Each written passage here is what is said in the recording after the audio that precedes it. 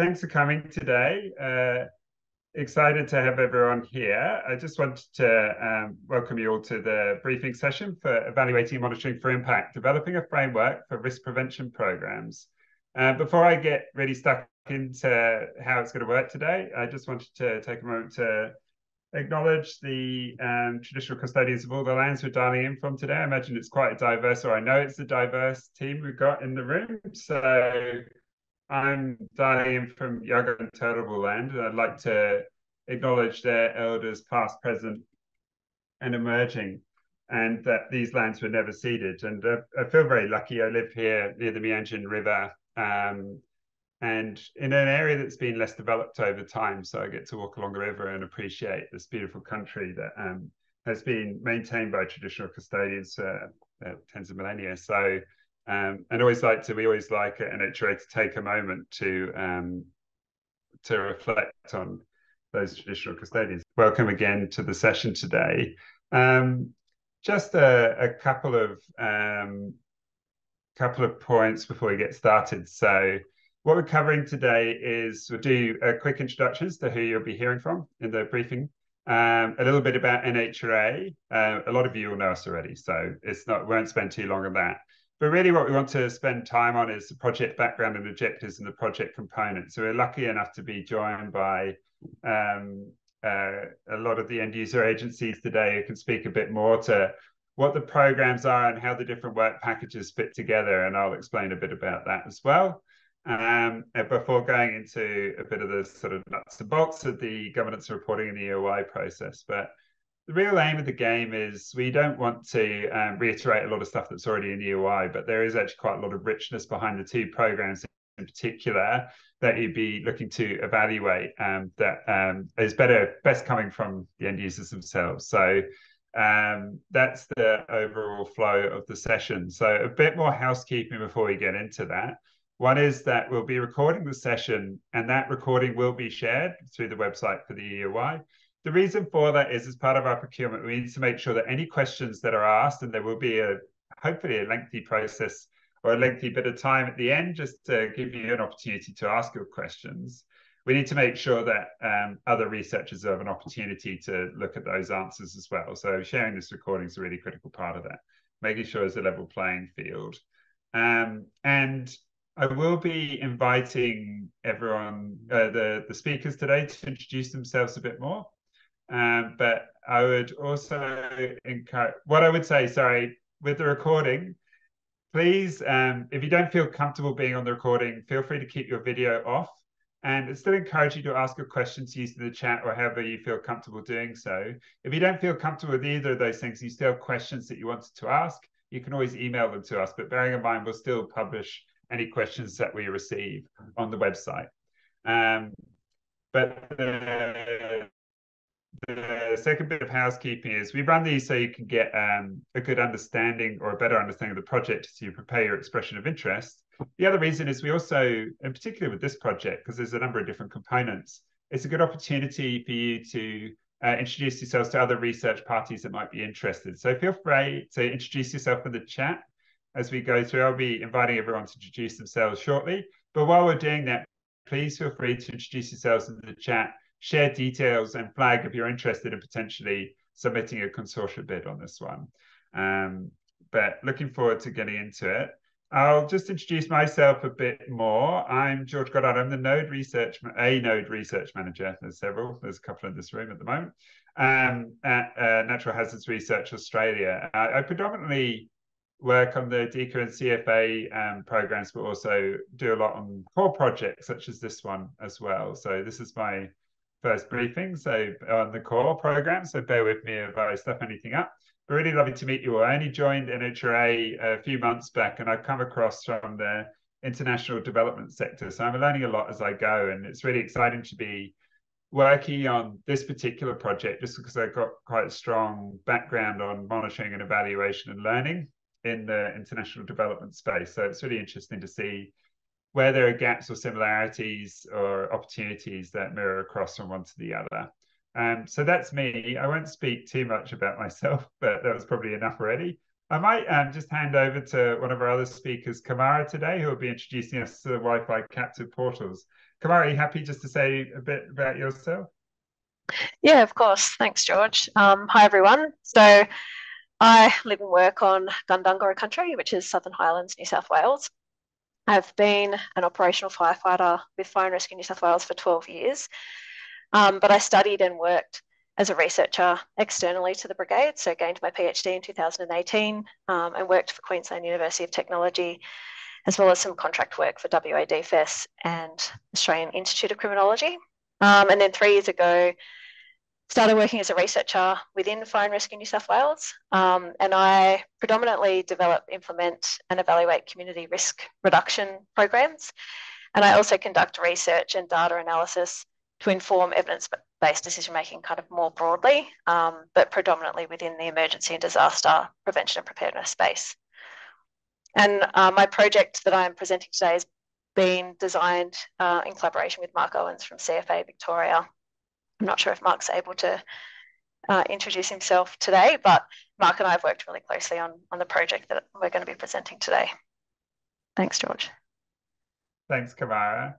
Um, and I might just hand next. Uh, I know Mark's dadding as well as attending, so I might hand over to Chris. But Mark will hopefully have a chance during the Q and A to, to say hi. But Chris, um, Chris Clark, are you happy to introduce yourself and your colleagues that you have in the office there today?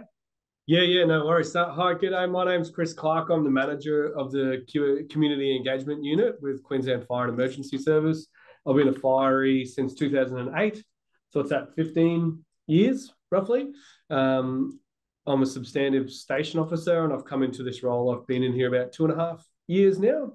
Uh, this is Jimmy Thorburn, hey. um, a substantive senior firey. He's a current state coordinator for the Triple F program and the RAP program. We wrote a road, we, we run a road safety program as well. Um, and Clancy May, she's our program officer who um, administrative officer provides support to our programs um, throughout that. Um, yeah, we're really excited about this piece of work and, and really excited to share some of the um, some of our program with you and help help you understand what we're here for and what we can do to work together. Thank you. Brilliant. Thanks, Chris and team. Lovely to have you all here. So, um, and thanks for taking a moment to introduce yourselves. Again, with the research researchers that are on, online today, please feel free to introduce yourselves via the chat um, as we go through. And if you do feel comfortable sharing your details, please do so. So before we dive into the meat of the project, just for those of you that are, less familiar with Natural Hazards Research Australia, we um, this new round at the centre commenced in the first on the first of July 2021. Uh, it's uh, $85 million a year over 10 years um, from the Commonwealth, so through an, agreement with uh, DISA, um, with top up contributions from various partners at state and local level as well, including other end user groups.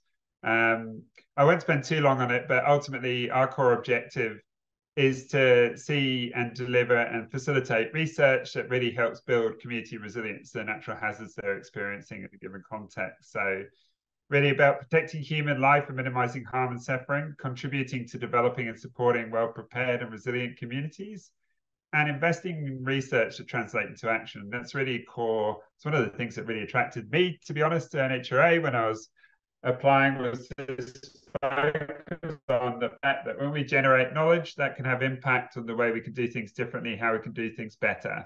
And um, that's very much a core commitment of Natural Hazards Research Australia. And that really runs through all of the work we do. And that's why you see really heavy end user involvement, different agencies getting involved, helping brief um, are different projects that emerge. And that's why we've got great representation today. So thanks for being here, team, to help explain more about your aspirations for this particular project.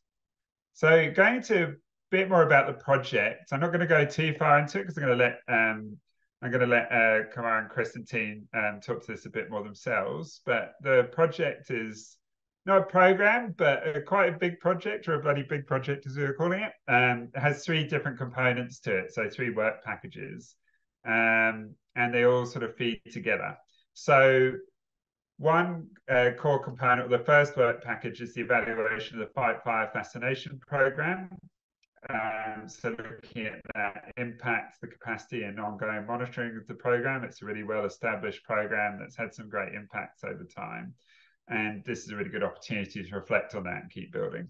Um, the second work package, by contrast, is a very new idea that's come through the Disaster Challenge as proposed by Mark and Kamara, who won the Disaster Challenge last year with their idea of being able to reach tourists, tourists and tourism workers through use of Wi-Fi captive portals to deliver um, messaging on different risks that they'd be facing in their environment. Traditionally, a group that quite hard to reach. Um, this is a great innovative idea that they came up with uh, right for you know and justifiably um, won the disaster challenge but noting that the next step is to really pilot that program um, uh, develop develop the videos to support it and Kamara will explain more about the um, about how it works later and really collaborate with local government and other stakeholders to see those that implemented as a pilot assess and see how that could be iterated and scaled into the future and the idea is that with those two contrasting work packages that have a very heavy monitoring and evaluation component,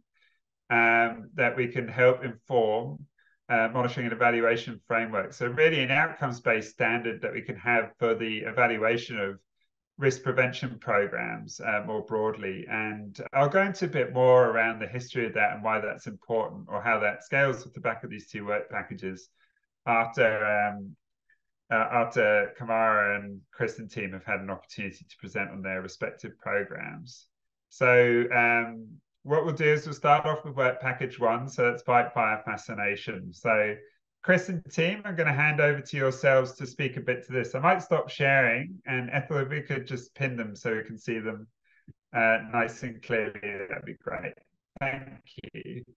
All right, so I'll start with the, the history. So, the Fight Fire Fascination program is an initiative of QFES firefighters. Um, it was designed to support parents, guardians with their efforts to educate children about fire and about safe fire behaviour. We use empowerment and education as a tool to um, help young people learn the skills to remain safe from fire. It's actually a really big piece of that.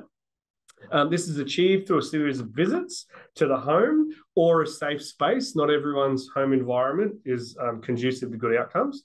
Um, so we go through a series of visits, one to five, depends on the needs of the young person. Uh, it starts off with an inquiry. So people, the, the members of the public, put an inquiry into us, give us a bit of an outline of what's happened, why they're concerned about this fire behaviour. We'll allocate the case out to a practitioner based on a number of factors, one being geographic location, like Queensland's a very large state. Um, so we want to, you know, people have to travel to do it because face to face is a very powerful component of this program. Um, the other piece, uh, and then sorry, and then it goes on to visits. So it depends on it. The first visit's always rapport building. We just spend time getting to know the young person, getting to understand them and their needs, so we can tailor the next couple of um, visits around them. Um, so rapport building is a very fundamental piece of what we do. Um, build that rapport and then bring education and empowerment into it. We've got a whole toolkit um, that we use. There's there's about six different strategies that we use to do that. Depends on the young people, depends on their age and their ability to process information as well. Like someone who's a bit more neurodivergent, for example, they might be 18 years old, but they've got the capacity of someone who might be 12 years old. So we've got to tailor that messaging for that young person to make sure it has has it. Um, and then if they're successful and we see a reduction in their unsafe fire behavior, we finish with a celebration phase. Um, we're very fortunate we have fire trucks available to us, so we can take these young people out and, and have a fabulous day at the fire station with them to celebrate their successes um, and really try and set them off on that that successful pathway. I think that's a really important piece um, of that positive reinforcement is, is really what we're focusing on there. Um, so that's the young person. We also have the firefighters actually get a sense of fulfillment out of it too, because they're giving back. Like as a firefighter, we see um, the end result of people's poor choices. So this is a real opportunity for us to come back and, and be contributing to better outcomes for young people and stopping that unsafe fire behavior um, because it's you know that can be quite traumatic on a number of levels, especially in some of your smaller communities. You know, can have this ripple effect is is one of the words, one of the strategies that we utilize, um, and that can really impact a, a, large number of people really quickly, easily. Um, the other really interesting point is it's not an isolated, like when we respond to a fire, for example, uh, we rock up, we put the fire out, we go home, see you later. Whereas this, this is a lot more touch points along the way. I think we spend around about 10 hours with the young person. Um, so we have those touch points, which allows us to build that rapport and allows us to um, deliver that education so we can have that attitudinal change, what we're looking for. Um, the Triple F program goes back to 1994. Um, it started when a district officer in Kuroi um, found a fire setter and were like, we have to do better for this. Um, so they started throughout it, they started just doing their best. And they had monthly visits with the firefighters, with the fire setter, correction, and their mental health carer, just to try and work out the best course of action. They went through this adopting, adopt a fiery approach, which is still sort of what we do now. Um, we adopt them and we'll allocate them out to people so you have that close network with them. Um, and then it's just grown from strength to strength. We had some research done in 1997 um, another some done in 2001, um, but that was more around you know how do people perceive us um, and what you know people love fireys generally and they tell us that we're great and that's really great but we want to see that attitudinal change and that um, you know that longitudinal change of behavior is really important. Um, in 2012 due to a government decision at the time the program was ceased and it got recommenced in 2016 so we had a four year window where the program wasn't around um, some of the interesting highlights that I'll go through in 1998, we got up to 100 young people. So from 94 to 98, we had 100 young people through there. And now we're hitting about 77 to 85 a year. Um, the program's built on Ben Furman's Kids Skills um, book is actually where the fundamental piece of it, and that's where that um, you know turning problems into skills is a really powerful um, piece for that. We've done a lot of AFAC work over the years. Um, we really, really important that we share our knowledge with other um, AFAC members, other AFAC agencies, because we all have the similar sort of um, challenges and concerns, and and you know someone's home environment isn't determined by a boundary that we create on a map.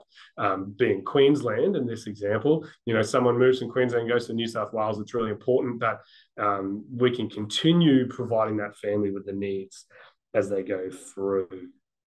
I think that's a pretty big overview, Jimmy. Isn't it pretty good? That's enough to start with. Yeah. I'll hand it back to you, George.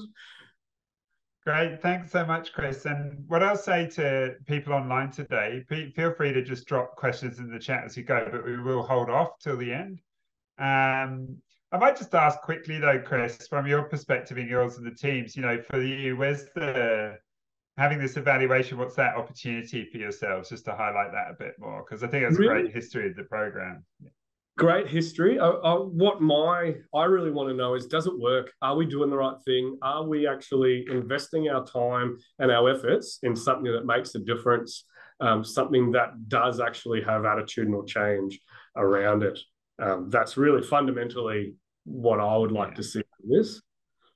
Great, thanks, Chris. Yeah, I think that's um, that's just a good way to sort of t- cap it off in terms of where we're going with the with this particular program of work. So thanks for taking the time to share that team and thanks for being there for the questions later. Um, Kamara, I might hand over to you now. I'll share my screen if you're happy. Thanks, George.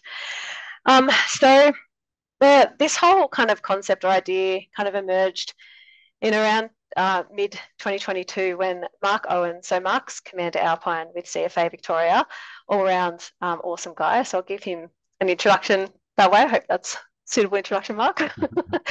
um, so Mark and I were kind of uh, discussing evidence-based approaches to community risk reduction, particularly in relation to transient communities, specifically tourists and tourism workers, because in Mark's area in the Alpine region of Victoria, um, he sees a huge influx of tourists and tourism workers at certain periods of time of the year.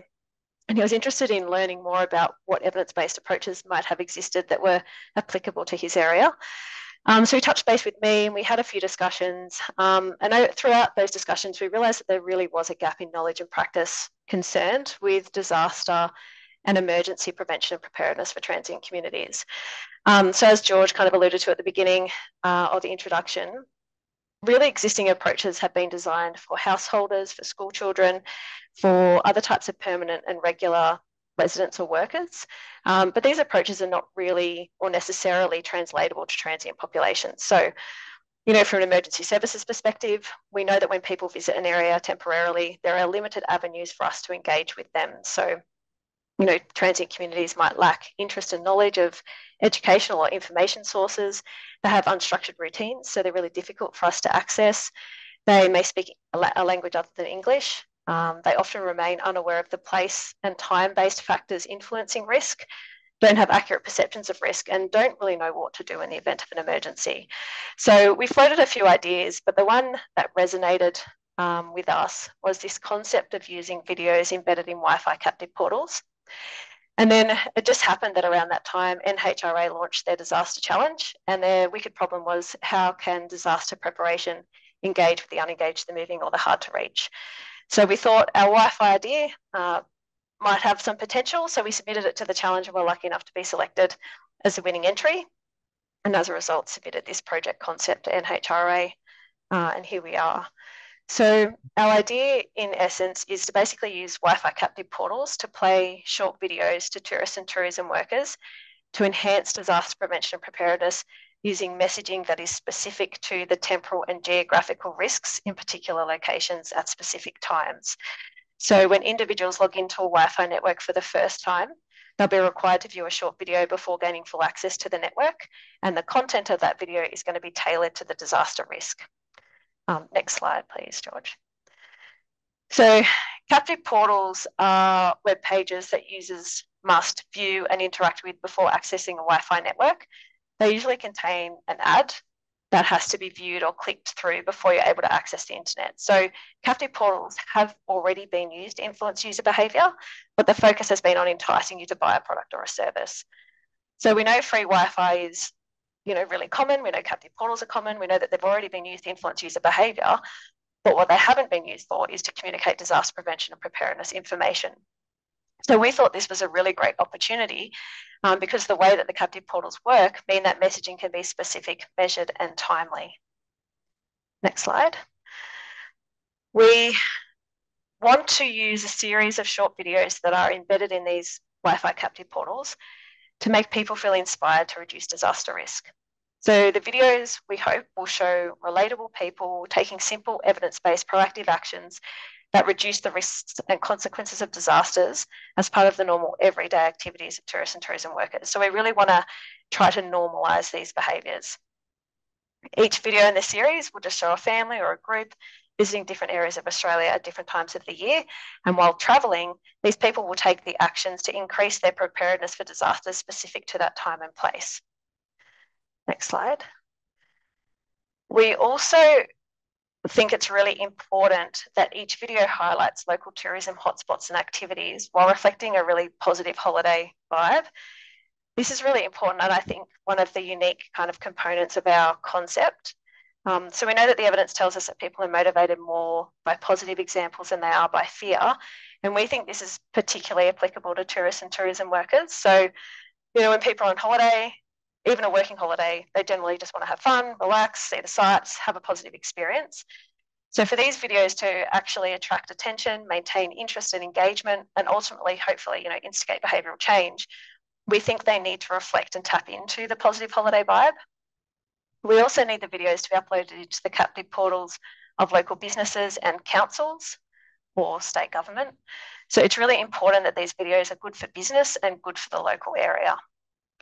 So we developed a sample video um, that, yeah, we'll play for you today.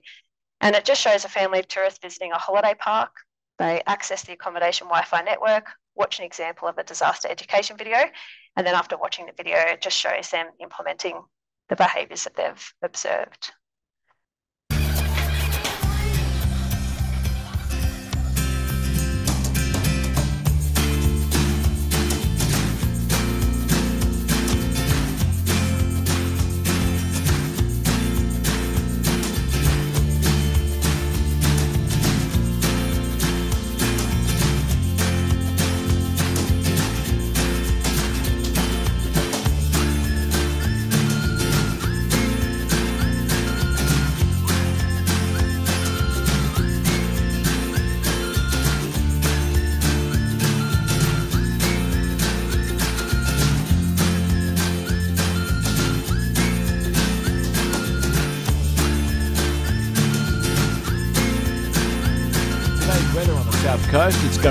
Calm and mild, temperatures in the mid 20s and no wind.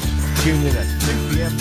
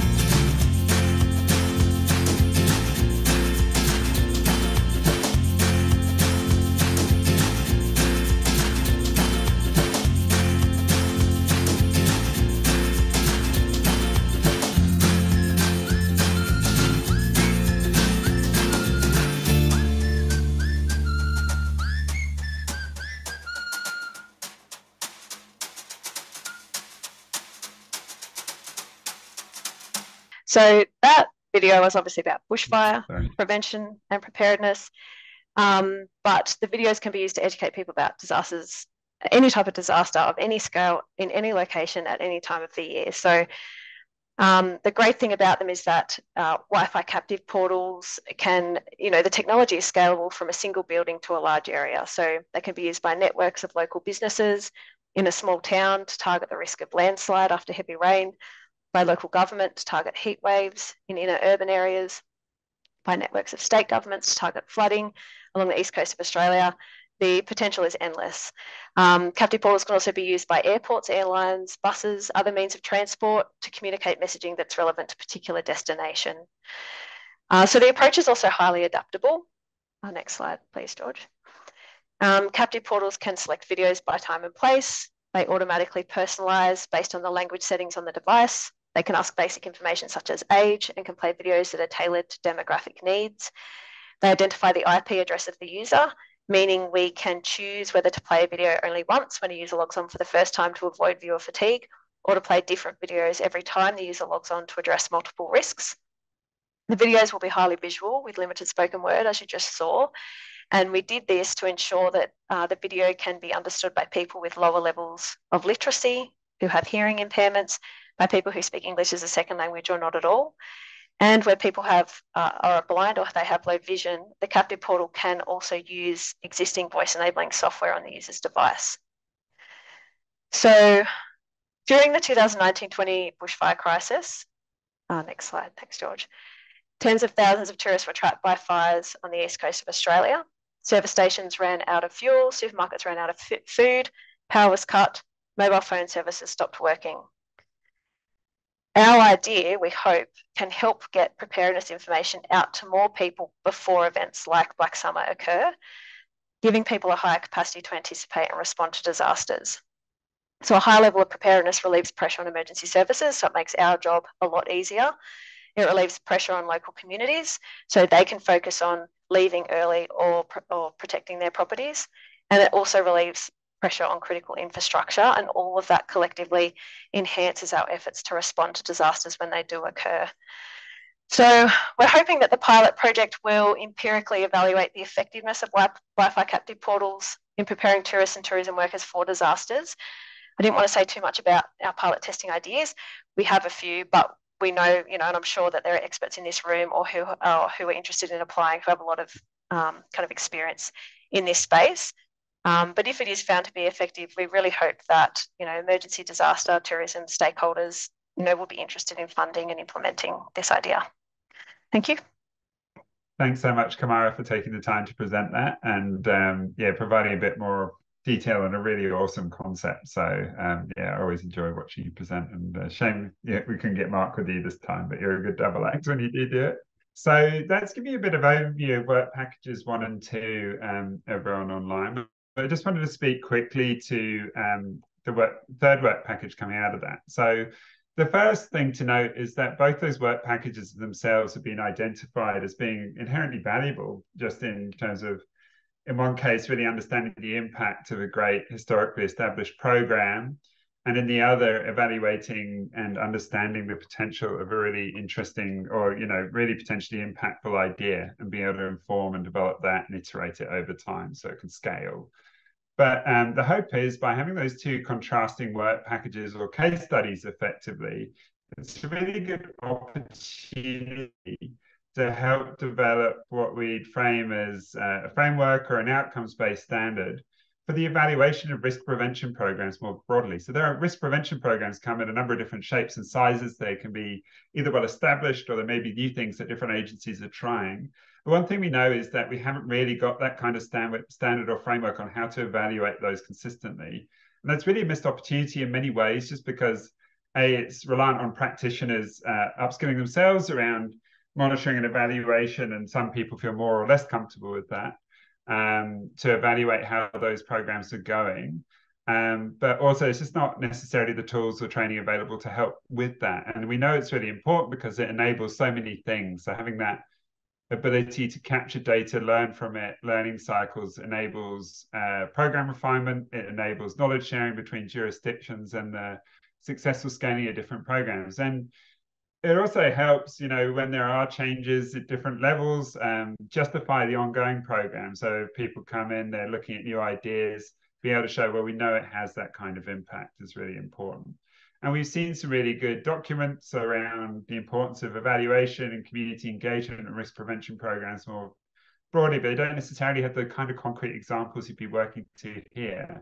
So it's a really rich opportunity to take two contrasting case studies be able to demonstrate, showcase um, what good monitoring and evaluation looks like and familiarize that with the broader community of um, Australian pra practitioners and risk prevention programs. So with that, you know, there's one thing to develop a framework or a standard, but also proposing how would you empower people to respond to those standards as well is important. So you don't want to be setting the bar and then not providing those materials to help with it. And that's what where package three really comes in. It's really trying to um, socialize what we've learned from that process or those two work packages to look at how risk prevention programs across a broad range of risk can be successfully evaluated, how that knowledge can be shared between jurisdictions.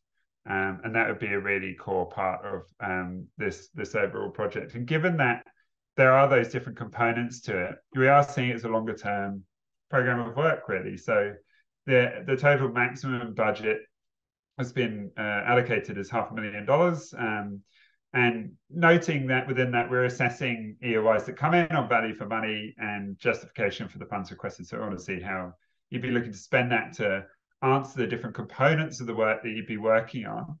Um, and it is, we see it as a longer term piece. So even those two work packages, you may be able to run them in parallel, but that socialization of what you're learning from it and actually getting to a really good framework or outcomes based standard um, would take longer. So we're seeing it would take a few years for this one.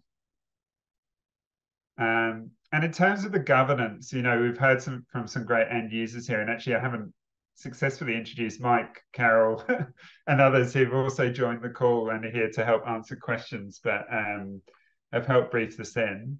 Um, in terms of governance, you know, the contract would be with ourselves, Natural Hazards Research Australia, and we look for one lead provider, even if you're in a consortium.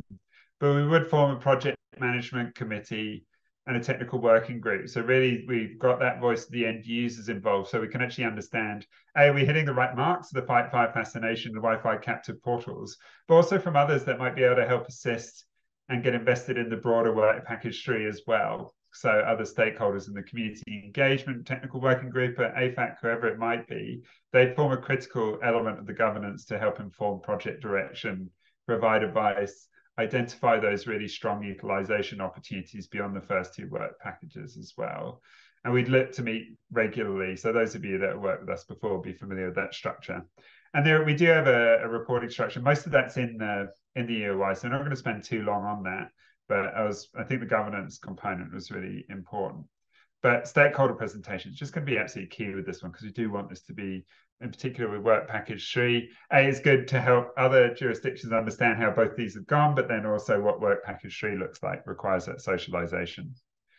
The process, is, all the information on the process itself is available on the website, and the links are in this slide. But key information is if you are looking to put in your proposals, please put those in by 5 p.m. Australian Eastern Standard Time. Uh, I'm sure daylight time is fine actually, but I'll just double check with the team on Monday, 30th of October. I know that sounds funny, but I know it does happen. that the extra hour is uh, okay. I actually think eight, Australian Eastern Standard Time is more generous thinking about it, so hopefully that's fine. And um, I'm not going to go too much into making a submission. That's all in the EOI as well. I do want to allow plenty of time for questions, and we're hitting the only 20 minutes left mark for that. But the evaluation criteria are all in there, hopefully well explained, but we have that up front just so you can think about that when you're and use that to inform what you put in your proposal when you submit those. Thanks to the presenters. Thanks to everyone for joining. This is now really an opportunity to ask questions. So this is the this is the meat of it. But thanks again to uh, Kamara, um, Chris and team for uh, taking a bit of time to talk to these. And then please stick around because this is the bit where we get the curly questions. Hopefully, if you have them to researchers online. Um, but appreciate you taking the time out to be at the briefing today as well and um, prepare those presentations. If you do have questions, feel comfortable being on the recording, you can put them in the chat, like I said. Otherwise, feel free to just jump off or put your hands up if you know how to do that, and I'll call you out, and we can we can just get you off um, mute and camera to have a chat. Fantastic. For, firstly, can I just say fantastic presentations? I don't see how you could get anything better than what Kamara was presenting on the Wi-Fi area. I thought it was brilliant. so congratulations, it's really good. Um, I, I guess I'm looking at doing this in conjunction with the. I, I noticed she's not here today. That was Ansi Gamage from Victoria University. Sorry, from RMIT, but mm. there there was a group of people actually from Victoria. So I so I would probably apply in conjunction with with them. Um, I I just I got the impression you're looking obviously at a teaching package of some sort, particularly in your option three. Mm. Um, yeah. And I, I guess my, my question is is really do you want that as visual as the sort of thing that Kamara presented? Hmm.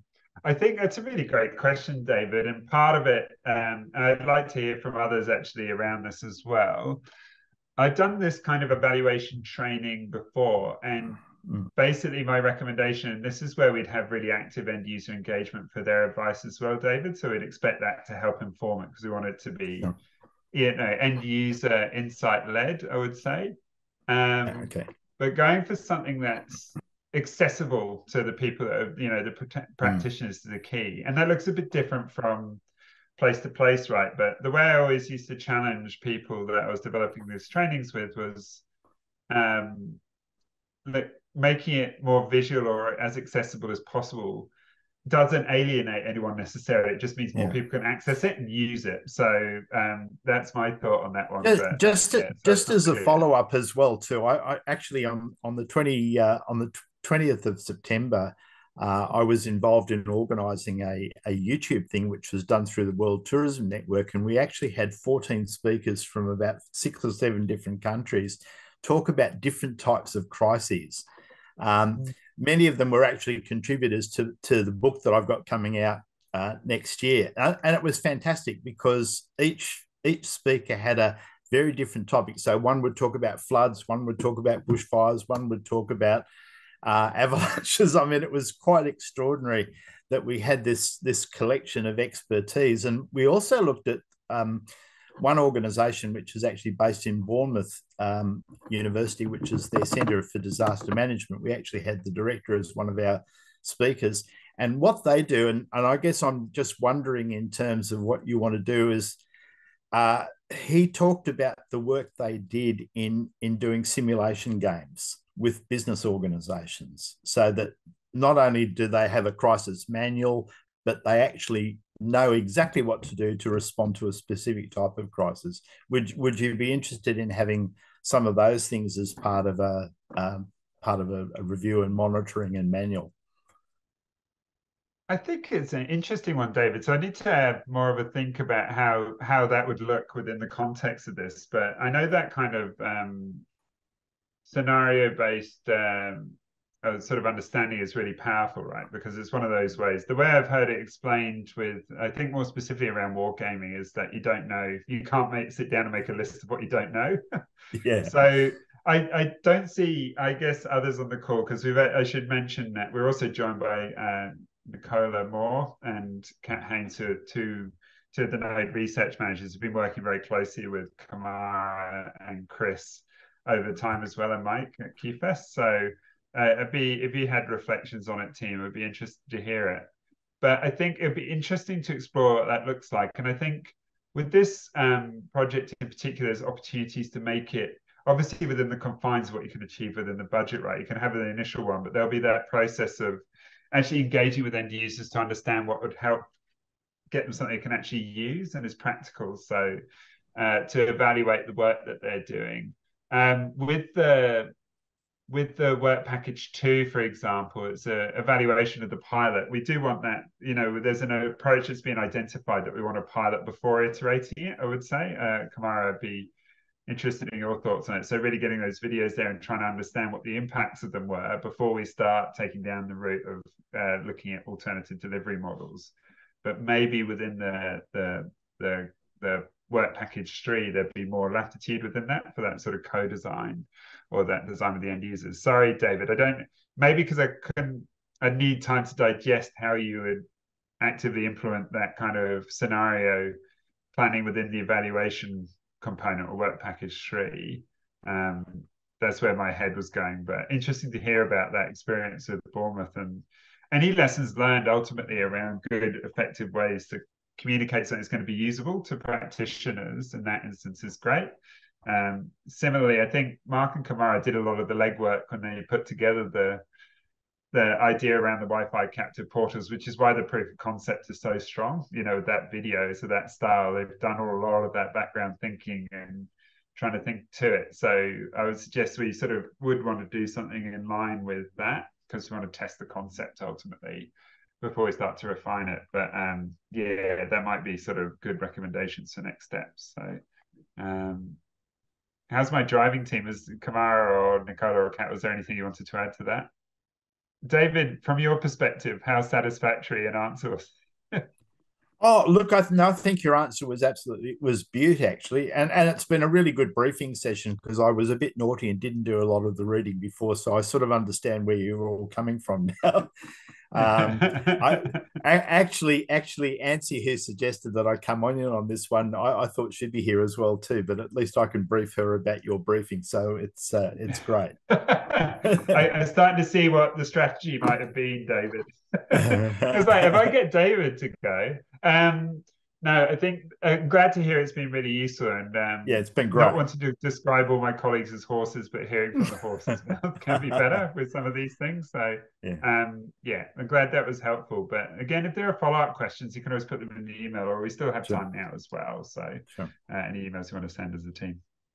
And uh, yeah, Nicola sort of reiterated something that I was saying there. So we'd be interested in approaches to work package three that really develop with those end users. And uh, Nicola, I saw your other message. I was thinking that having some representation from the AFAC Community Engagement Technical Working Group would be really relevant here. And we've already actually introduced some of this project to that group um, to establish that there's that, that appetite. So yeah, lots of good opportunity for co-design within that. So thanks for the question, David. I think it's a really great one to, and it's lovely right. to hear how you're thinking about it. Um, so uh, others on the call, were there any other questions that were in front of mind for you that you'd like to answer while we're online? Hi. I have not so much a question, but I just thought I'd throw this in. Um, I'm from QFES Research and Innovation, and I'm probably in the unique position of having worked with Kamara and Mark, um, Chris and the team, and also, you know, George and the NHRA team. The opportunity is a fantastic one that we are looking on with great interest. Um, it's genuine, and I like the idea of looking at a very established program like Triple F versus a very new innovative idea like the Wi-Fi portal. And we can really see value in that general third work package of looking at that framework and standard around, you know, looking at different programs and initiatives that, that come our way. So it is a great opportunity. It's a genuine one, and we are genuinely interested. I would encourage people to apply. Thanks, Mike. I love the plug. So yeah, I think um, great to highlight that. And I think um, what I found uh, lovely about this and other projects to work on is that uh, end user investment and understanding and really evaluating how these programs are working or not and creating that learning cycle where you really are continuing to continuing to grow the impact of the program through insight generated. It would be really interesting to see what a research team could bring in in terms of tools that might not have been used yet that create a really rich understanding. I think one of the things that Chris, maybe we were discussing, or Chris and Mike, was that actually there's a sense that fire fascination has had another number of other unintended good consequences to it or knock-on impacts.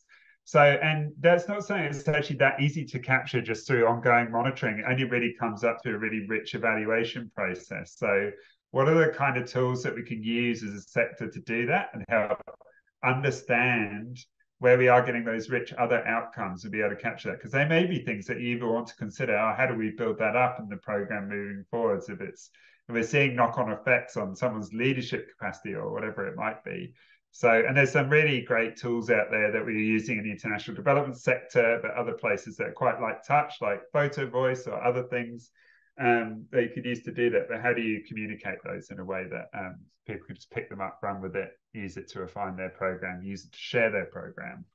Uh, really key. But Mike, thank you for the plug. And like I said, I think it's um, just reiterating, it's really great to see agencies investing time and energy in these spaces. So it's not true everywhere. It's in other sectors I've worked in. So yeah, it's great to see here. Am I might have to raise the gavel soon. It's going to be a going, going, gone. But noting that it's not speak now, forever hold your peace. There are opportunities to speak up. And David, I can see you, you're going to squeak one in there. Go, yeah, go for it. Yeah, just a very quick one. Uh, is, uh, do you insist on all the all the people who are perhaps putting bids in there to to be purely Australian? Are you happy to have any inter, international people? Ah, now that's a good question. I think there is. This is where I'll show my limitations of knowledge. But my understanding is I've worked. I'm actually working currently through other components of the program with um, agencies overseas, just because um, they they are the ones that have the capacity to do the research, right? So, mm. Nicola or Kat, I'm just wondering if there are um, equivalencies through the core program or anything that I might be missing, because I think ultimately we can get it to work and get it contracted usually it's sort of like you might have an australian lead agency but you might subcontract um, just to keep things simpler. But um, yeah i don't know if you i yeah. might not have an immediately good answer to that one. Yeah we've got plenty of talent here in australia. That's not the issue yeah. but but sometimes it's sometimes it can be valuable uh, I've done a lot of work with people in Japan, and they do some terrific stuff over there. Yeah, absolutely. And um, like I said, I think I'm trying not to answer my previous head on because I've worked with researchers in Nepal and Japan and others on seismic resistance. Mm. So, but um, Nicola's answered in the in the chat, and thanks, Nicola. It's also a frequently asked questions. Sorry, I should know this better. But um, basically, we're unable to directly contract with overseas researchers. So, okay, my understanding of that is that that doesn't mean they couldn't be involved, but it might need to be a subcontract with the lead agency to make that work. So, and that would be the sort of responsibility of the lead agency to have that. But the lead agency has to be Australian. So, okay, uh, is my reading of that. Yeah, international research teams can be research part of research projects on a sub consortium. Thank you.